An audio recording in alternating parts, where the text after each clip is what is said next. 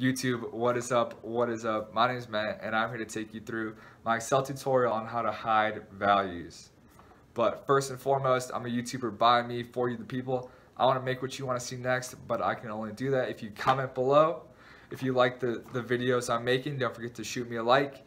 And if you want to stay up to date with my content, don't forget to subscribe. As always, if you have a friend that you think would like my stuff, or you think that they would get value out of out of it, please share it with them as well. Let's get it going. So, hiding values in Excel is when you have your formula already made, already set up to pull data from somewhere else. And this formula is to pull the data so you can manipulate it and do whatever else with it you need. But you just have to organize it somewhere. And the formula, no matter what, if the data's there or not, or if you don't want it to be shown or not, it's always going to spit back a zero or it's always going to spit back an error. So my four ways that I use to hide these zero or error values is when the data that I'm pulling either doesn't exist yet, I haven't inputted it yet, or I don't want it to be there uh, based off the date, which is going to be one of my examples. So before I keep on rambling, let's get it going second time. Side note, you really have to understand how to use if functions, super basic, I'll explain. And second side note is that I'm gonna use my monotony and strain calculator from my previous video. If you're coming from that video, great. If you're not, you don't have to understand what it is, just I'll, I'll kind of talk through it and why or how you would apply each of my four methods uh, in each different situation. Okay, so here we have all of the functions that we will be using to help us hide values. So like I said, it's very important to understand if functions. But first, so here is kind of our somewhat end goal. So all of these formulas have, all these cells, sorry, have formulas in them, pulling data from somewhere else, and then is calculating, and then manipulating to spit out different, different values. So this is kind of our first end goal, and then we're going to learn how to hide values to make it look prettier. So if, so if there's a criteria, logic test criteria, comma, if it's true, so if it's true, do this, comma, if it's false, do that, and parenthesis. Is blank. So how it works, so it checks whether a reference is blank and then if it's true, so if it is blank, it'll say true, and if it's not, it'll say false. So as we can see, the criteria, if it's true or false, it'll do something. And then we have a formula to say literally true or false. Today spits back today's value. And then if error, so basically if there is an error, you tell it to do something. So the value, so if there's an error in that value, comma, then do that. And another thing to understand is that double quotations means blank. So, or at least appear blank, sorry. So this formula equals blank blank, or equals quote quote, and it's coming back as nothing, blank. So, we have our data right here and we have our formulas right here. And it's a lot easier in general when you're making an Excel sheet to kind of set up all of your formulas first and then look at kind of where your issues or your zeros or your error values come from and then kind of go on from there. But if you set it up right, you can just do one week at a time and it'll work for every athlete and it'll work for every week. So I'm going to set this up Let's do our total load. Let's do our average load. And let's do our monotony really quick. And let's do our strain. Okay, so let's start out. So you have to know what your end goal is. And that'll help with everything. So I want to hide values when it's not today and when it's blank. And this is tying in a lot of ifs, so bear with me. So you start out with if logic test. If this value, so we're already looking for this value somewhere else, click it again. So if this value is greater than today, comma. So if March 8th is greater than today, what to do if that's true? Blank. What to do if it's false? So if it's less than or equal to today, like it is, then do this value. And because we added another function, we have to add another parenthesis. So now we're going to add another one. So if it is true, make it blank. So if it's greater than, so today is May 3rd, if it's greater than May 3rd, just make it blank no matter what. So now if it's less than or equal to May 3rd, today, if, and I'm going to copy all this stuff and it'll make sense in a second. So if is blank, so I'll just copy and pasted everything. So if this is blank, so the value that it's currently looking for, and that's why you have to set everything up first. So literally all you have to do is just add how to hide. So if that is blank, and notice the syntax, I'm on the is blank. So if this value, close out the parenthesis, so that's the logic test. So if it is blank, it'll spit out true, but if it's not blank, it'll spit out false. So if it is blank, comma, going to our if true, make it blank, but if it's false, then do the actual formula. And then we add another function, so we have to close it out. And when everything is closed, the syntax will go away. Enter. So before we copy and paste everything, got to do our references. So we want the row for the date to stay the same, but we want the columns to move sideways. Look at that. So now, because they didn't practice on Monday the 8th, on here, Monday, they didn't practice, this is going to be blank, but there's still a formula. So now we can do,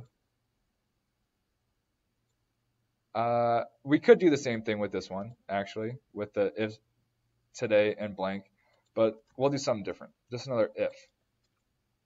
So equals if this above it, this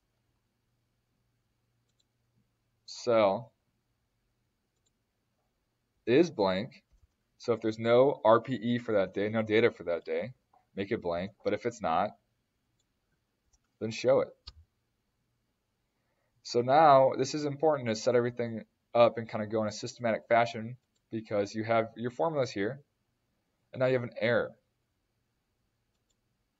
So now if error, like I said, what is the value, comma, what to do if there is an error, make it blank. But if there's no error, then it'll just do the value. So now this is all set up to where we can copy and paste it for everything. And copy and paste it for every day. And this is just to get those black lines out of the way. So look, we only have values for when there is actually a session. And because all of these days are less than or equal to today, that's why it's being shown. So now we have to take this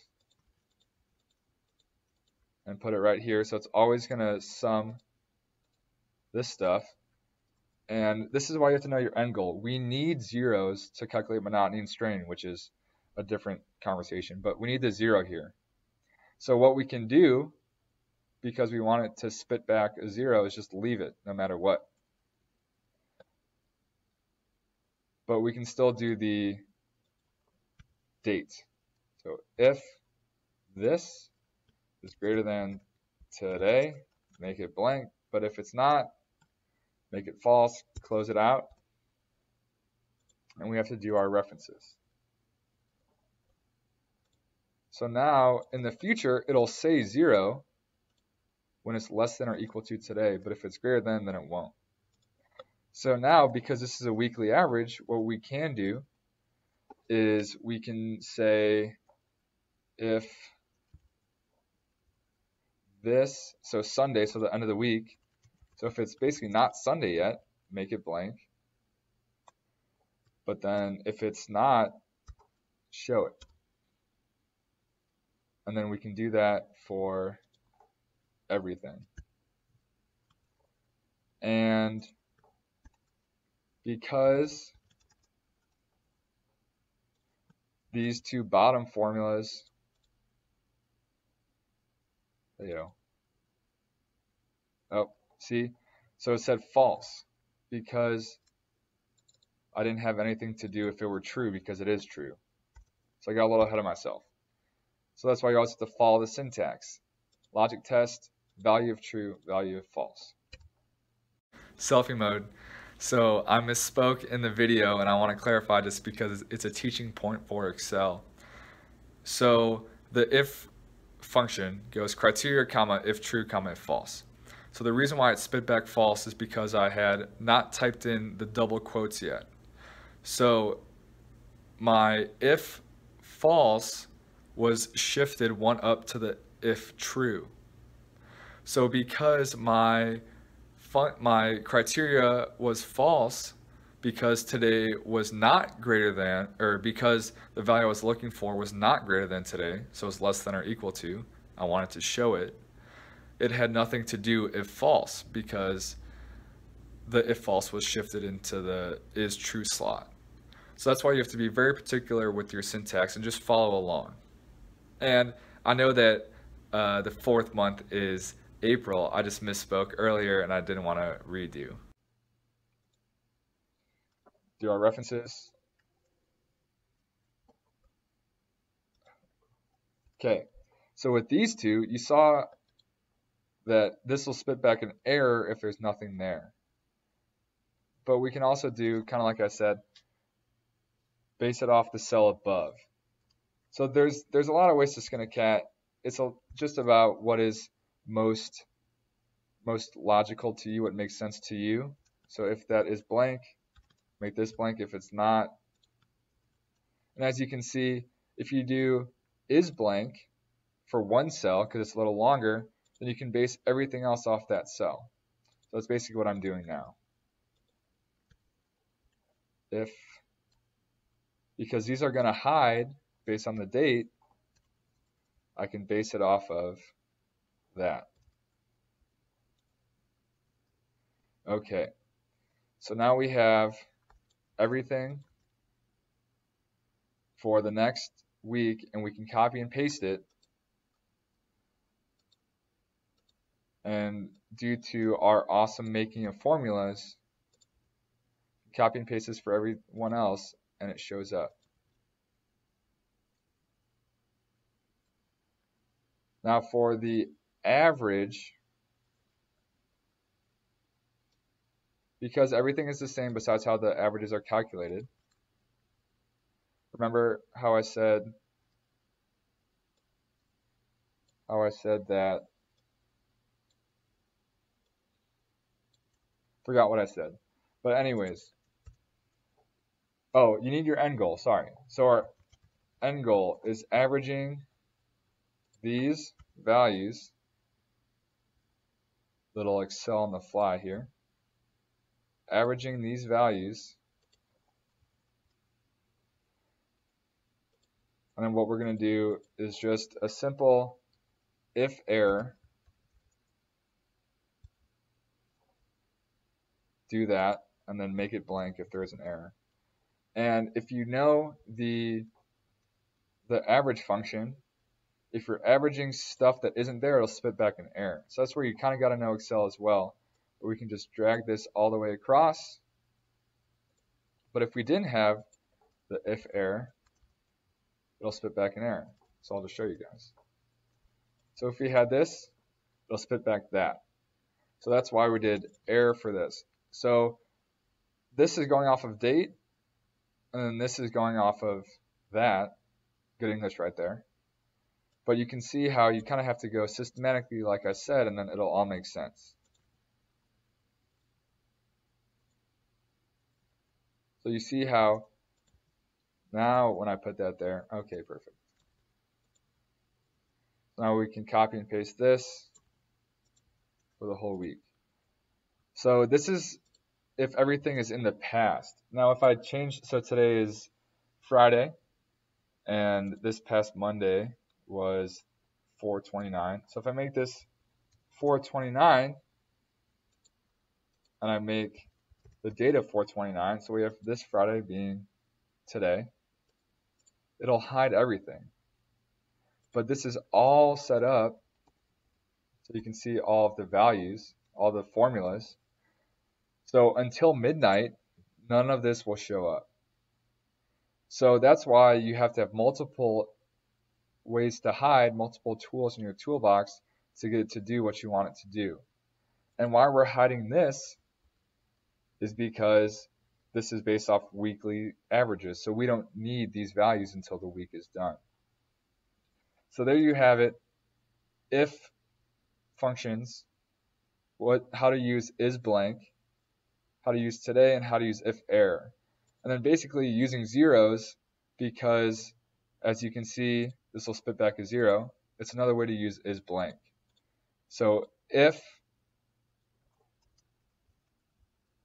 the really long, so if the really long formula equals zero, because it'll spit back a zero, then make it blank. So it's just another way to do if blank. So there's three methods I showed firsthand, a fourth way just using if to hide your values when you have your formulas but your data doesn't exist or you just don't want to show your data yet. So there you have it, my Excel tutorial on how to hide values. So as I alluded to a few times in the video, you have to have, basically do it in a systematic fashion like I did. So I made all my formulas I knew what was going to give me errors and I knew what was what I wanted to show depending on the date and if it was a certain date and if it was or wasn't blank. So there's four methods, three I showed you guys to where you can hide where you can have your formulas but it just makes everything look a lot prettier. So I know that was kind of quick, kind of ran through it all, but basically if functions, pretty easy. Is blank, today, double quotes is blank, and if error. So if you know how all those pieces work by themselves, you follow the syntax with all the commas and the parentheses, Excel will get very finicky. Uh, commas and parentheses, knowing where you are and what function, you have your end goal, you do it in a systematic fashion, you can make your Excel sheets look beautiful. And this will just come with time. I've been doing this for about a year now, and I made multiple Excel sheets in this fashion. And it can go very quickly, kind of like I just showed you. Sorry about that. But your formulas, what you want to hide and why, what functions can help get you there. Happy excelling. Don't forget to comment, like, and subscribe.